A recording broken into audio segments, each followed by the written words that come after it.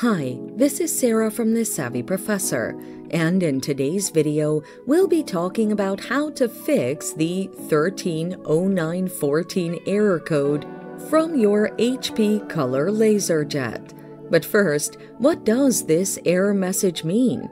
A 130914 error code indicates that there's a paper jam in the back door of your HP LaserJet machine.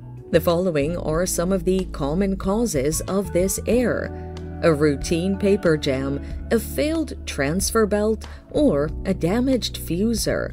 Now, let's look at the best solutions to fix the error. Remove the stuck paper. Switch off and unplug the machine. Gently tilt the printer to its side. Locate the paper drawer and open it. Look for any lodged paper and carefully remove it. Replace the transfer belt. Turn the printer off, open the right door and remove the transfer belt. Get a replacement transfer belt and roller. Install the transfer roller. Carefully install the new belt by its edges. Close the door. Check the fuser unit. Switch the printer off and open the back door of the printer. Find the fuser unit, remove it, and look for visible damage to its cables. If necessary, replace the fuse with a new one. And that's it. Thanks for watching. Till next time.